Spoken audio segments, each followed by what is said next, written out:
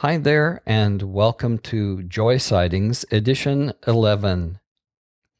Today I'll read to you Safed the Sage's parable, The Man from Jonesville, and then a parable by G. William Jones, Lying Offshore. The Man from Jonesville. Now there was among my neighbors a man whose name was Smith and he was from Jonesville.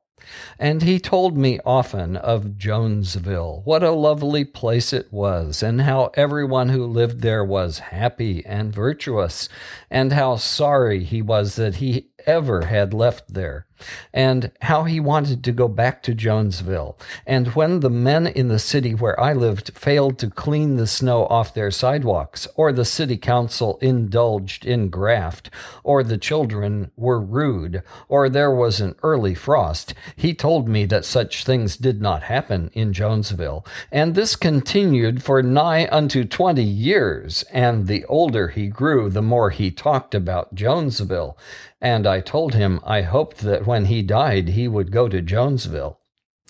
Now it came to pass that he prospered, so that he retired from business, and he sold his house and lot in the city wherein I dwell, and went back to Jonesville, that he might spend his last years in peace, and die in Jonesville. And we all bade him farewell, with something of sorrow and something of relief. And it came to pass that at the end of six months, he and his wife moved back and bought their old house for a thousand dollars more than they sold it for. And they were tenfold more happy to get back than they had been to go away. And it came to pass on an evening that Keturah and I called on them. And I said, Old fellow, tell me on the level, what was the matter with Jonesville?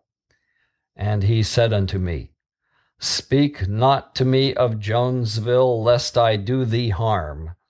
It is the toughest joint this side of state prison.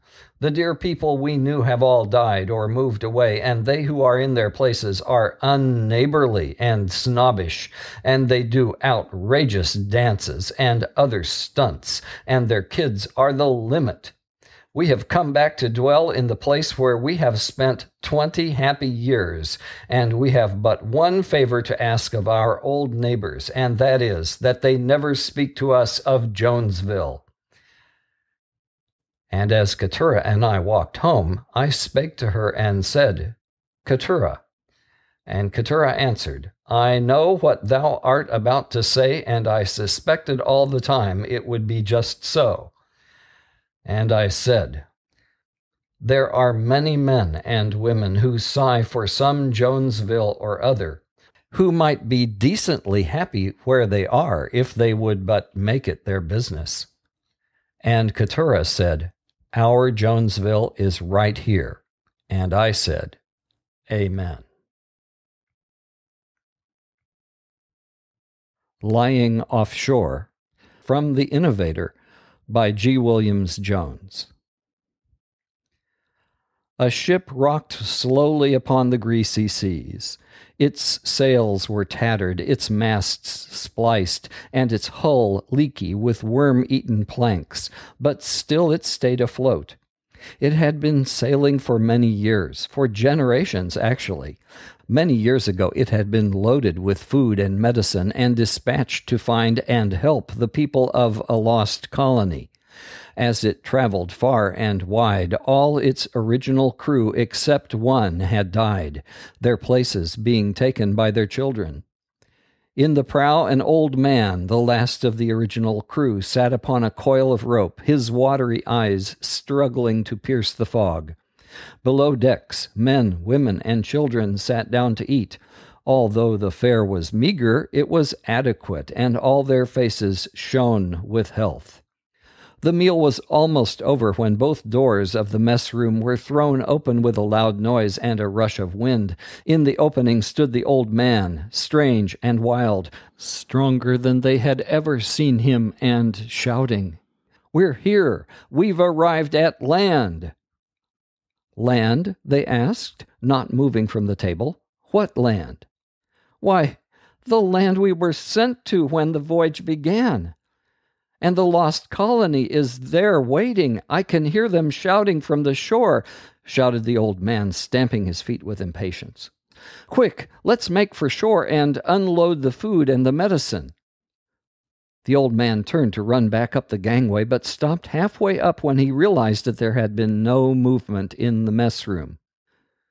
Slowly he returned to stare at them with wide, incredulous eyes, his mouth agape. Didn't you hear me? Are you all deaf? I said we're here.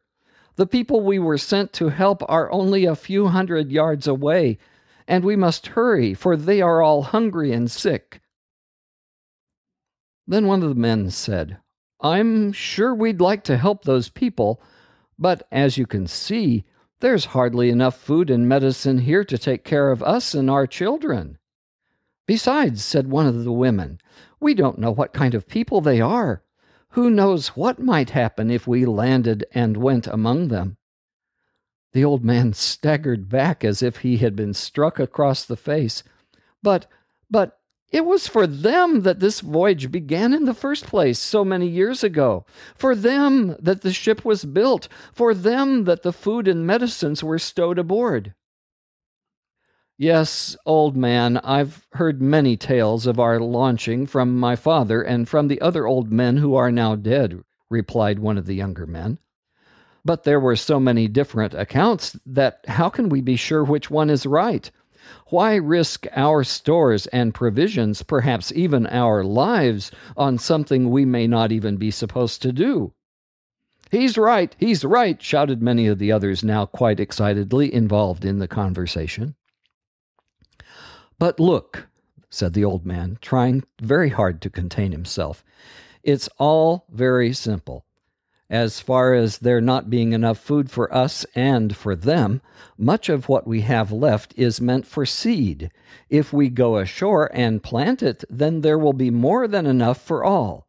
And on the matter of why the ship was launched in the first place, you have merely to look in the logbook. It's all there. The old man, hoping he had settled the question, looked anxiously from face to face around the tables. There was a long, thoughtful silence. Finally, a man who had gravitated to a position of leadership among them stood up, picking his teeth and frowning thoughtfully. Perhaps the old man is right, he said, loosening a juicy morsel from between his two teeth. At any rate, his suggestion merits investigation. What I propose is this let us select from among ourselves a representative committee which will see if they can find the old logbook, and then go into a thorough study of it to see if they can determine whether we should land or not.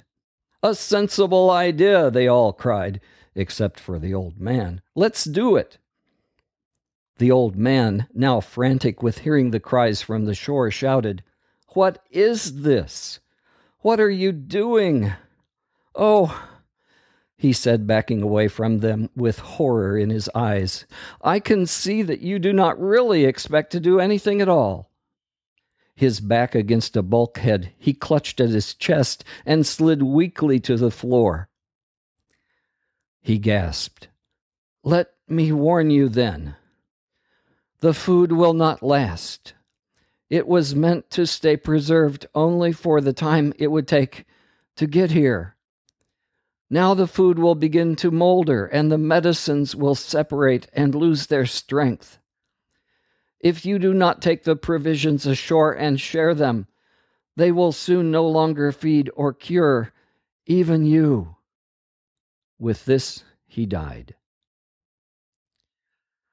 As the days and weeks passed, the ship continued to lie offshore. The committee continued to search in the logbook, which they had rather quickly found, hoping to come up with a report in the very near future. A few of the younger men and women, maddened with the waiting and lured irresistibly by the cries of hunger and pain from the shore, slipped away one night in the jolly boat with a few provisions and were listed sorrowfully next day as lost at sea.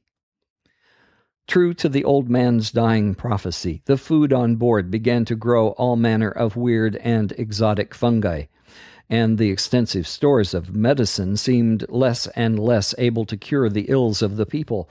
Also, the cries from the shore began to grow so much louder that even the deafest on board had to stuff his ears with cotton in order to sleep. But no one seemed to be able to decide what to do.